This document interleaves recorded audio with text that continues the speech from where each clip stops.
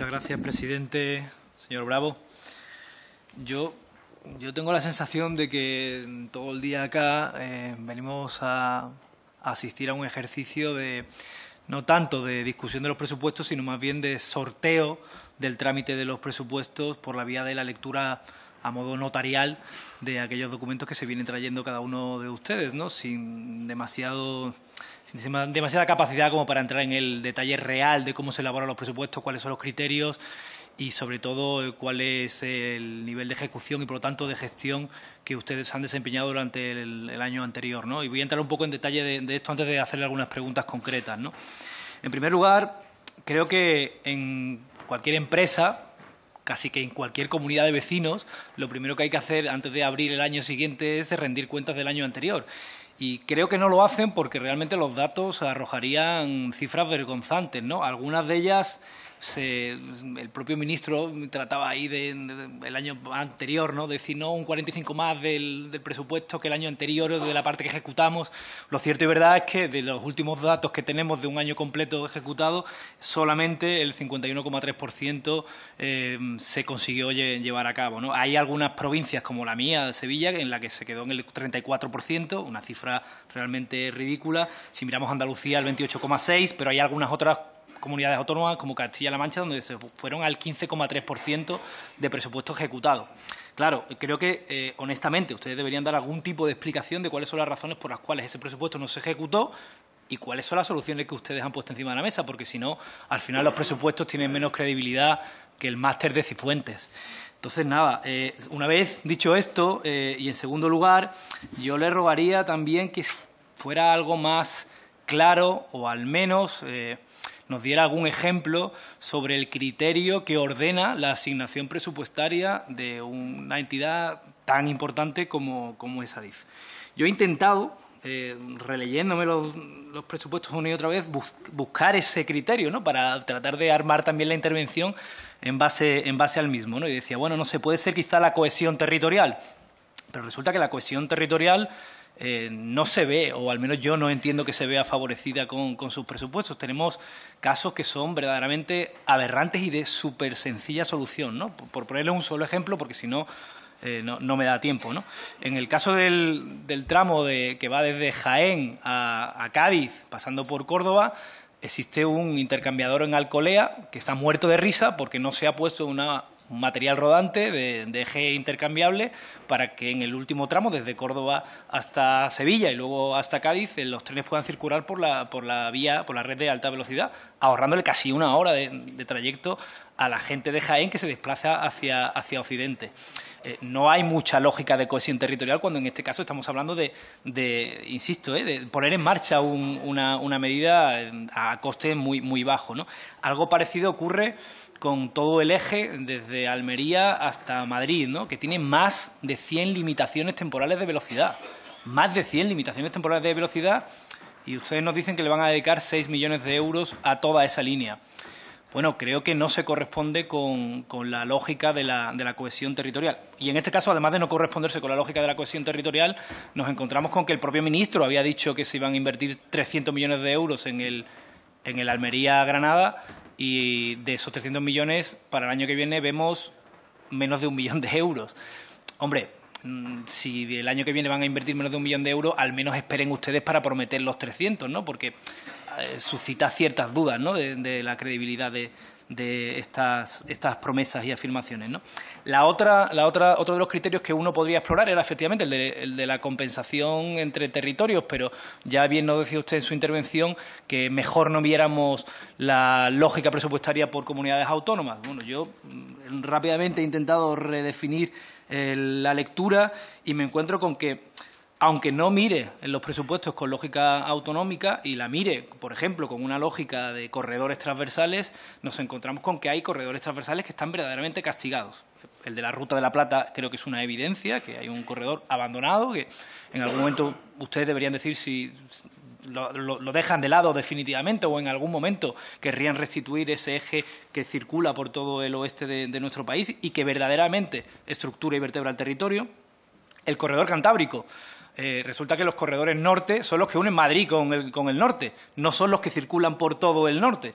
Y ahora mismo seguimos teniendo una red en la, de la antigua FEBE que, requiere casi 13 horas para circular desde Ferrol hasta, hasta Bilbao. ¿no? Eh, el corredor cantábrico mediterráneo, ¿no? que sería otro de los corredores que usted mismo ha mencionado, se le dedican en torno a 80 millones de euros. Eso apenas da para 8 kilómetros. Yo no creo que todavía sea como para sacar mucho pecho en este asunto. Y en el corredor mediterráneo yo le tengo que hacer una propuesta aquí, no sé si me la tomará, pero cambiémosle el nombre. No le llamemos corredor mediterráneo, llamémosle corredor del Levante. Porque en realidad, eh, a día de hoy, muere en Murcia. Ustedes están destinándole en la provincia de Almería 7,4 millones de euros, que es aproximadamente un 0,4% de lo que debiera destinarse para ese tramo. O sea que el corredor no va a bajar de Murcia por lo menos en los próximos años venideros.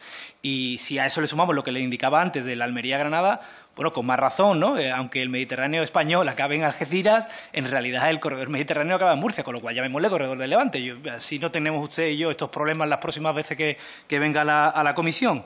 Porque eh, y añado otro criterio, el criterio económico, ¿no? el criterio de hagamos de España un nodo logístico internacional, que yo comparto cuando ustedes lo enuncian. Bueno, si queremos hacer de España un nodo logístico internacional, deberíamos hacer una apuesta seria porque efectivamente la Algeciras-Bobadilla eh, entre en funcionamiento en tiempos competitivos antes de que otros puertos de Europa se conecten con, el centro y eh, tomen posiciones de ventaja en, los mercados, en los mercados europeos. Y esto no está sucediendo nuevamente. O sea, destinamos un 9% de lo que sería el presupuesto total para finalizar ese, tramo del, corredor mediterráneo, que además es del corredor atlántico esto de que, es doblemente prioritario. Yo creo, honestamente, que habría que hacer una apuesta más seria por terminar en tiempo y plazo este corredor. Me consta que en el Senado también se va a discutir una PNL, una moción en este sentido. ¿no? Eh, tengo dudas porque no acabo de encontrar el tema de los apartaderos de 750 metros, una, bueno, unas, obras que son fundamentales para que efectivamente nuestra, red de mercancías pueda ser competitiva.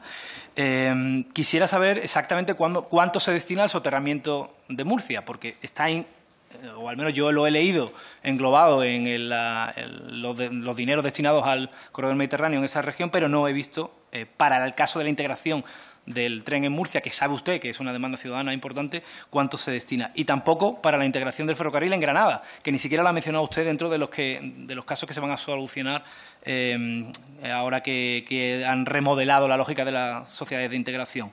Sobre pasos a nivel, también eh, tampoco encuentro o el dato, eh, me he dedicado a sumar y me dan unos 13 millones de euros en supresión de, de, pasos a nivel. No sé si esto llega a 15 pasos a nivel, 20 pasos a nivel, haciendo una, una cuenta de la a buen cubero, pero son muy pocos pasos a nivel, teniendo en cuenta que solo en Andalucía, que es el dato que tengo más fresco, hay 600.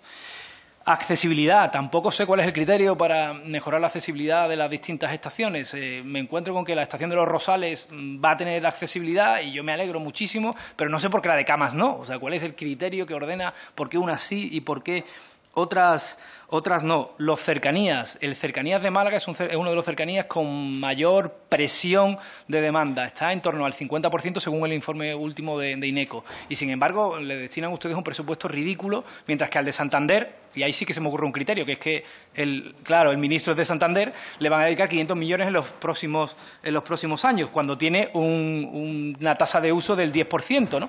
Bueno, no sé, lo digo por ir explorando algún criterio que yo pueda entender. ¿no?